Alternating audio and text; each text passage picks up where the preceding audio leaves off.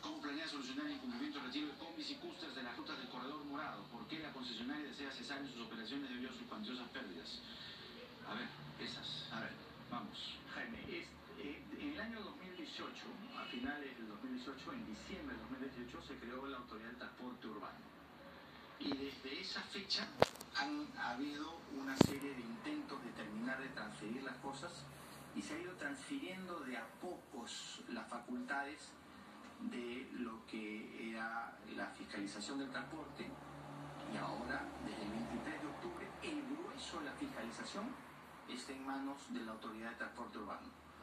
Nosotros como Municipalidad Metropolitana todavía conservamos lo que es el corredor segregado del metropolitano, los alimentadores y los corredores que tienen colores. Entonces, ahí es donde seguimos haciendo un trabajo que es importante. Te pongo un ejemplo que es eh, valioso. Por ejemplo, el corredor azul. El corredor azul que está aquí en la Avenida Arequipa, Wilson, Tacna. Ahí hemos puesto fiscalización electrónica para poder justamente combatir a esos informales. Hemos estado hablando hace un momento del 70% de la ciudad es informal. Eso también se da en el transporte, sin duda, hay una competencia desleal. Estamos también yendo después a poner fiscalización electrónica en el corredor rojo y después iremos al morado, que esa es un poco la ruta que estamos transitando. En el interín hemos seguido nosotros con todas las obligaciones, cumpliendo todas las obligaciones para poder transferir todo, toda la responsabilidad a la ATU. Claro, pero acá hay cosas concretas, este, los jaladores, es decir, hay todo un universo informal que el vecino ya no aguanta más. Aquí la gente, el, el grueso se lo resumo, eh, siente que la ciudad eh, le da un golpe, se siente amenazada por su propia ciudad. La gente se ahoga en Lima, siente que Lima se la quiere devorar. Entonces, más allá de las cosas que ATU tiene que recibir como transferencia, ¿qué se hace con cosas como, eh, digamos, jaladores que obstruyen el tránsito, los fiscalizadores, qué trabajo están cumpliendo?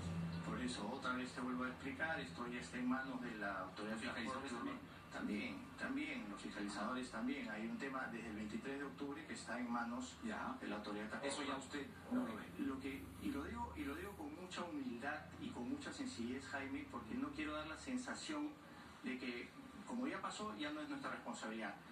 Nosotros todavía tenemos algunos fiscalizadores que están trabajando bajo responsabilidad. Y les he pedido a estos fiscalizadores que hagan mucho más esfuerzo del que podrían hacer, porque no quiero dar la sensación de que ya nos desprendimos de las cosas, sino que, al contrario, tenemos que coadyuvar y buscar que esta ciudad mejore. No solamente dejarle la tarea a la autoridad de transporte urbano, sino también como municipalidad coadyuvar a que estas cosas se puedan dar. Y hay una serie de mecanismos que nosotros hemos impuesto, como por ejemplo el.